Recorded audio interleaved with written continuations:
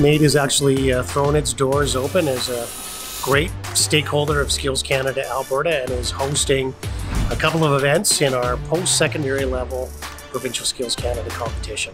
We want to continue to support the, the initiative of that competition to make sure that we're helping to solidify the opportunities that are created for individuals who are looking to go into a trade. You know, what it does for the competitor themselves, it really uh, takes them out of the classroom environment, the traditional learning environment, and puts them through their paces. And so they really start to, to see um, how uh, well evolved their skill set actually is. We're really pushing them to the edges of the theory and their skills that, that they know. They definitely have to be very skilled in order to be here. We try to bring in the best best of industry and you know bring that along to the students.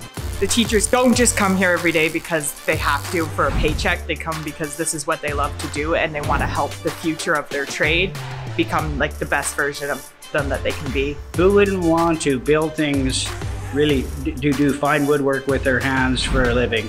People do that for a hobby. I would absolutely recommend the competition, the program, all of it. It's fantastic, so much fun, and a great opportunity.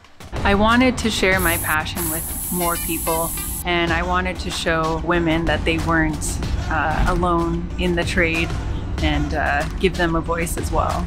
There's nothing like feeling like a community, um, and that's what NAIT is to me.